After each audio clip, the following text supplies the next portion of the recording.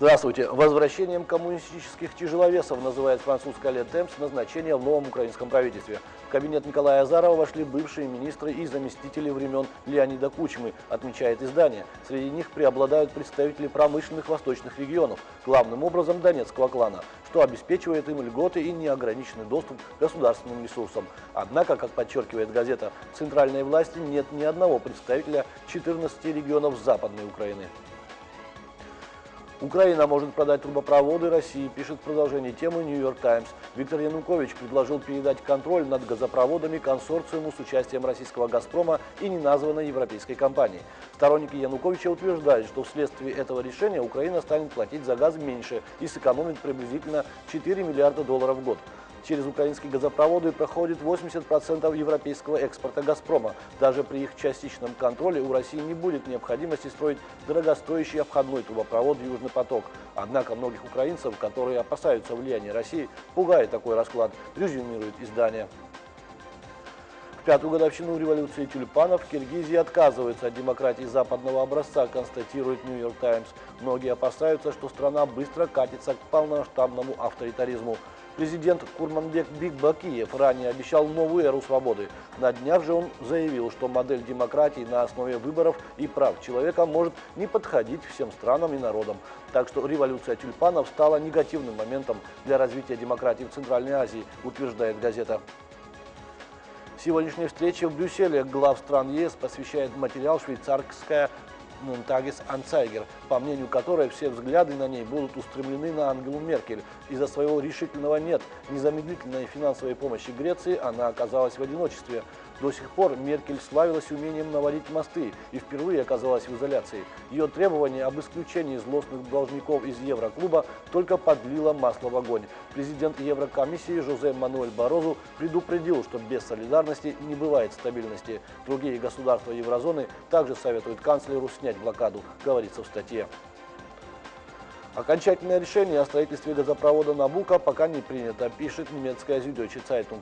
Тем не менее, комиссар ЕС по энергетике э, Гюнтер Эттингер надеется, что это произойдет уже в течение года.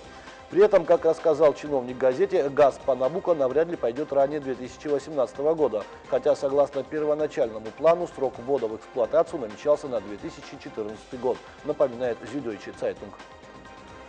США не смогут долго оставаться мировой сверхдержавой и государством-нянькой одновременно, пишет Wall Street Journal.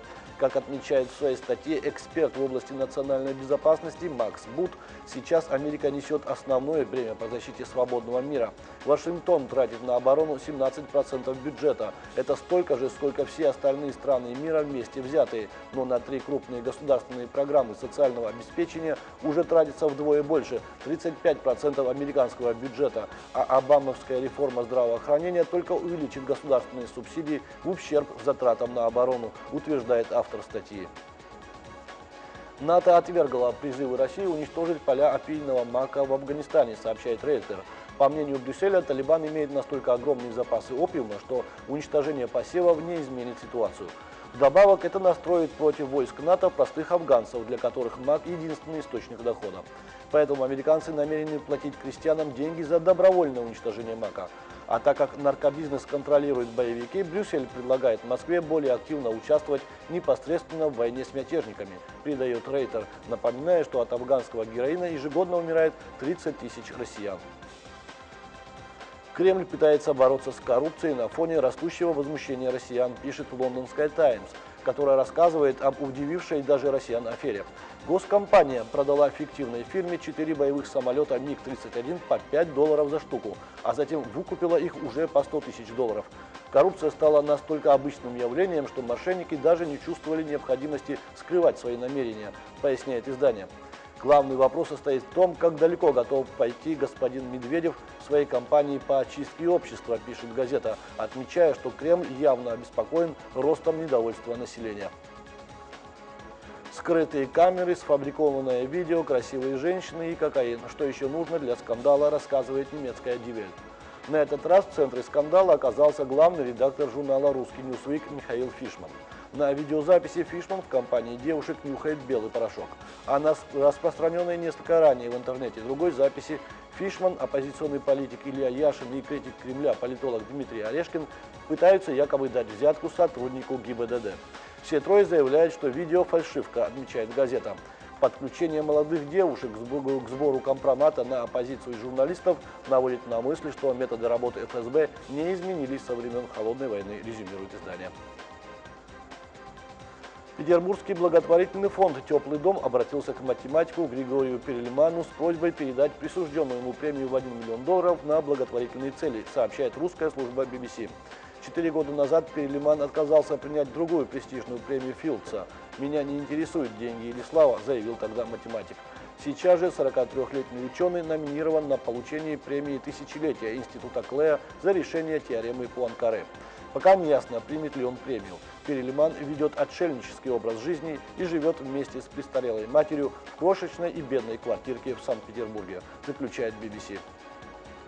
Индийская армия и полиция в борьбе с преступниками намерены применять гранаты, начиненные самой острой национальной приправой – перцем хут джолокия.